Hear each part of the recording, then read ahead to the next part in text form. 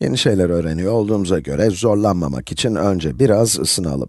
Problemimiz şu, eğer bir önceki videoda yaptıklarımız anlaşıldıysa, şimdi yapacaklarımız da çok kolay gelecek. Geçen videoda yaptıklarımızı biraz derinleştireceğim. Ne yapmıştık? 4 haneli sayı ile tek haneli sayıyı çarpmıştık. Şimdi 5 hanelilere yükseltelim. 64.329 çarpı, güzel bir sayı olsun, çarpı 4. Şimdi göreceksiniz ki bir önceki videoda yaptıklarımızı aynen uygulayacağız, sadece biraz daha uzun sürecek. Başlayalım. 4 kere 9 kaçtır? 4 kere 9 eşittir 36. Değil mi? 18 çarpı 2, 36 eder. 6'yı buraya yazıyoruz, 3'ü yukarı taşıyacağız. Taşıdık. Şimdi 4 çarpı 2 var. 4 çarpı 2. Buna da 3'ü ekleyelim, değil mi? Şuraya yazalım. Artı 3 eşittir. Önce çarpmayı yapıyoruz. İşlem sırasına göre biliyoruz ki önce çarpma işlemi yapılıyor. O halde 4 çarpı 2 eşittir 8 artı 3 eşittir 11. 1 aşağı iniyor ve bir tane onluğu yukarı yazacağız. Şimdi sırada 4 çarpı 3 var ve bu 4 çarpı 3'ün sonucuna da 1 ekleyeceğiz. Değil mi? 4 çarpı 3 eşittir 12 artı 1 eşittir 13. Burası 13. Sonra 4 çarpı 4 var. 4 çarpı 4 ve bir önceki çarpmadan bekleyen bir de birimiz var. Bunu da 4 çarpı 4'ün sonucuna ekleyeceğiz. Bu da 16 artı 1 eşittir 17 edecek. 7'yi buraya aşağı yazalım ve 1'i yukarı koyacağız. Neredeyse tamamladık, bitmek üzere.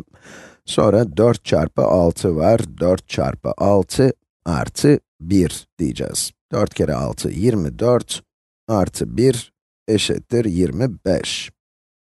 5'i buraya aşağı yazdık. Başka çarpma kalmadığına göre 2'yi aşağıya, buraya koyuyoruz. Demek ki 64.329 çarpı 4 eşittir 257.316'ymış. Hemen ekleyeyim, buradaki virgüllerin pek bir anlamı yok. Sadece sayıyı okumamıza yardımcı oluyorlar.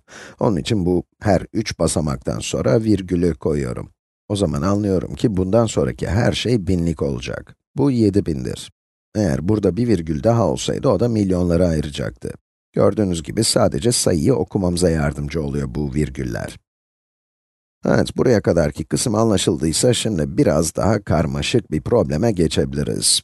Aslında o kadar karmaşık da değil, sadece fazladan bir adım daha içerecek, hepsi o. Şimdiye kadar yaptığımız çok haneli bir rakamı tek haneli bir rakamla çarpmaktı. Şimdi çok haneli bir rakamı iki haneli bir rakamla çarpacağız. Diyelim ki 36 çarpı, buraya tek basamaklı bir sayı yerine şimdi iki basamaklı bir sayı koyacağız. 23 olsun. Çarpı 23 dedik. Probleme başlarken burada sadece 3 varmış gibi, sadece 3 varmış gibi hareket edebiliriz. 2 bir süreliğine unutun. Ne yapacağız? 3 kere 6 eşittir 18. 8 buraya, 10'u ya da 1'i de şuraya koyalım. 3 kere 3, 9 artı 1, 10. Evet, burada başka bir şey kalmadığına göre 10'u olduğu gibi şuraya koyalım. Şimdi başka bir renk kullanalım. 36 çarpı 3 eşittir 108. Ama burada duran bir de 20'miz var değil mi? Biz şimdiye kadar 3 ile çarptık ama 23 ile çarpmamız gerekiyor. Buradaki 2 aslında bir 20. O zaman şimdi 20 çarpı 36'nın ne olduğunu bulmamız gerekiyor. Evet, şimdi şuraya bir 0 yerleştirelim. Buraya bir 0 koyuyoruz. Birazdan neden böyle yaptığımı anlatacağım. Evet, şimdi az önce 3 ile yaptığımız işlemin aynısını şimdi 2 ile yapıyoruz. Buradan yazmaya başlayıp sola doğru gideceğiz. 2 kere 6, 2 kere 6 eşittir 12. Evet, biri buraya koyalım. Ama burada bir önceki adımdan kalma bir 1 var ve artık geçerli değil. O yüzden silelim şu arkadaşı. Şimdi yazacağımız 1 ile karışmasın. 2 kere 6 eşittir 12 yazdık. 2'yi buraya koyduk. Biri de şuraya yukarı koyalım. Evet, kafamız karışmasın. Bir öncekini sildim. Şimdi 2 kere 3 eşittir 6. Yukarıda birimiz var. onu da ekleyelim. Artı 1 eşittir 7. 2 kere 3 artı 1 eşittir 7. Güzel. Bu bulduğumuz 720'yi bir yazalım. Peki bu nedir? Bu 36 çarpı 20'dir. 36 çarpı 20 eşittir 720. Umarım bu sıfırı neden buraya yerleştirdiğimizi açıklar. Eğer sıfır koymasaydık, burada sadece 72 olurdu. Oysa 720 olmalı. 72 ise 36 çarpı 2'dir. Ama bu 2 değil. Bu onlar hanesindeki bir 2. Yani 20. O zaman 36 ile 20'yi çarpmalıyız. Değil mi? Onun için burada da 720 çıktı. O halde 36 çarpı 23, birazdan yeniden yazacağız. Önce problemi bir bitirelim. Şimdi bitirmek için 108 ile 720'yi toplayacağız. 8 artı 0 eşittir 8. 0 artı 2 eşittir 2. 1 artı 7 eşittir 8. Demek ki 36 çarpı 23 eşittir 828. Peki bu nasıl işe yaradı? Yani nasıl oluyor da bu yöntem işe yarıyor? Nasıl 36 ile 3'ü ayrıca çarpıp 108 bulduk, sonra 36 ile 20'yi çarptık, 720 dedik ve ikisini topladık ve bu da sonuca eşittir dedik. Çünkü problemi şöyle de düşünebiliriz. Yeniden yazalım. Elimizdeki problem şuydu, bunu yeniden şöyle yazabiliriz. 36 çarpı 20 artı 3 diye düşünebiliriz, değil mi? Bu yaptığım henüz öğrendiniz mi bilmiyorum ama dağılma özelliğidir. Bu eşittir 36 çarpı 20 artı 36 çarpı 3. Umarım bu şekilde düşünmek kafanızı karıştırmamıştır. Size bir şey öğretecek çünkü bu. 36 çarpı 20'nin 720 olduğunu görmüştük. 36 çarpı 3 eşittir 108 dedik. İkisini toplayınca ne çıktı? 828. Değil mi? 828 bulduk. Önceki videoda yaptığımız gibi konuyu daha da genişletebiliriz. Bunu 30 artı 6 çarpı 20 artı 3. Evet, gelin bu şekilde yazalım. Şimdi yaptıklarım çok karmaşık gelirse ya da şimdiden çok karmaşık geldiyse burada bırakın. Eğer gelmediyse gelin beraber devam edelim. O zaman 3 kere 6. 3 kere 6, 18. 18, 10 artı 8'dir.